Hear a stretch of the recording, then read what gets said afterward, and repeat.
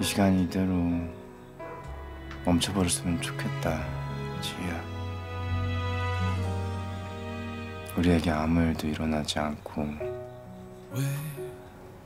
이 세상에 이렇게 우리 두 사람만 있을 수 있게 이대로 시간이 멈춰버렸으면 이제야 내 맘을 안거니 난 늘 이렇게 서 있었는데 그 아픔은 내가 전부 가져갈게. 눈물 흘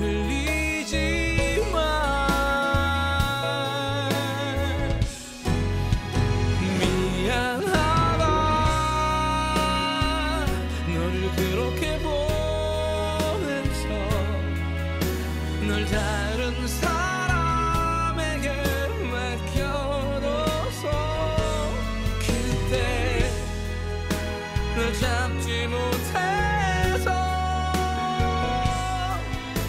내가 미안해 많이 미안해. 시간이 지나도 너는 그대로인 걸. 이렇게 가까이 있는데 강지우 씨가 이렇게 내 곁에 있는데 그런데 나는 지우가 그립습니다.